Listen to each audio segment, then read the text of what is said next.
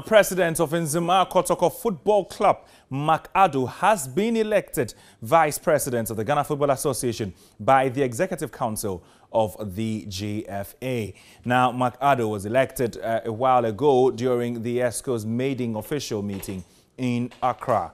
Last month, Mark uh, you know, was elected onto the GFA Executive Council as one of three representatives of the Division 1 league clubs. He will deputize uh, for the newly elected GFA president, Kurt Okraku. So that's just a uh, news that you must know when it comes to the GFA and uh, who is going to be the second in command to Kurt Okraku.